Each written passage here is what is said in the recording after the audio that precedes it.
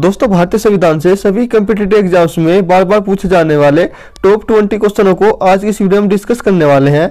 दोस्तों, इस पार्ट में मैं बीस क्वेश्चन लेकर आया हूँ। मेरा नेक्स्ट पार्ट पार्ट टू जल्दी आने वाला है। दोस्तों, अगर आप किसी कम्पिटेटिव एग्ज़ाम की तैयारी कर रहे हो तो ये वीडियो आपके लिए बहुत इंपॉर्टेंट होने वाली है, क्योंकि इस वीडियो में आपको सिलेक्टेड क्वेश्चन देखने को मिलने वाले हैं। तो शुरुआत करते हैं फ़र्स्ट क्वेश्चन से। तो फ़र्स्ट क्वेश्चन है, ग्राम पंचायत का निर्वाचन कराना किस पर निर्भर करता है? तो इसका आंसर हो जाएगा राज्य सरकार पर। नेक्स्ट क्वेश्चन है, राज्य में राष्ट्रपति शासन से तात्पर्य राज्य में किसके शासन से है? तो आंसर है राज्य के राज्यपाल से। नेक्स्ट क्वेश्चन है, राष्ट्रपति राज्यों में किस अनुच्छेद के तहत राष्ट्रपति शासन आरोपित करता है? तो उसका आंसर हो जाएगा अनुच्छेद तीन सौ छप्पन के तहत।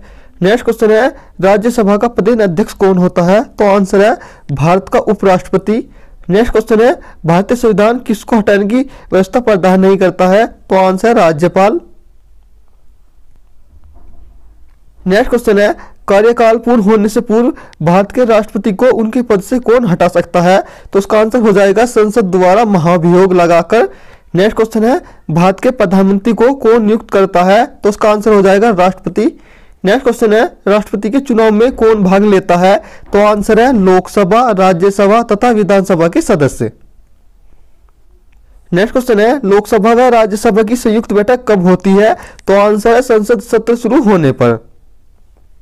नेक्स्ट क्वेश्चन है कौन सा अधिकार केवल राज्यसभा को प्राप्त है? तो आंसर है, नवीन अखिल भारतीय सेवाओं को शुरू करने का अनुमोदन करना। नेक्स्ट क्वेश्चन है, राष्ट्रपति की मृत्यु होने या इस्तीफा देने पर राष्ट्रपति के कार्यालय का कार्यभार का पालन उपराष्ट्रपति कब तक करेंगे? तो आंसर है, अधिकतम छह महीने की अवधि तक।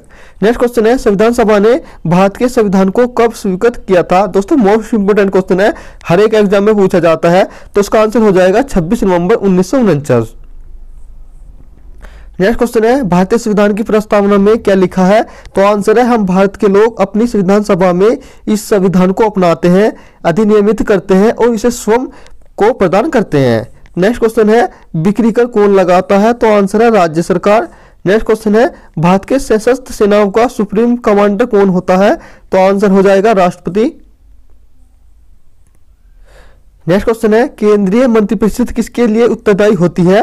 तो आंसर हो जाएगा लोकसभा। नेक्स्ट क्वेश्चन है, संसद के दोनों सदनों की संयुक्त बैठक की अध्यक्षता कौन करता है? तो उसका आंसर हो जाएगा लोकसभा अध्यक्ष।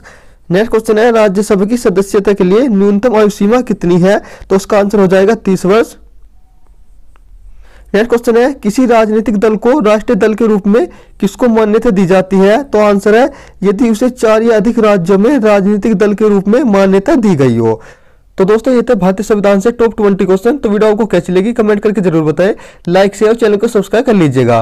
दोस्तों, मेरे भारतीय संविधान का सेकंड पार्ट जल्दी आने वाला है। उसे देखना ना भूलना।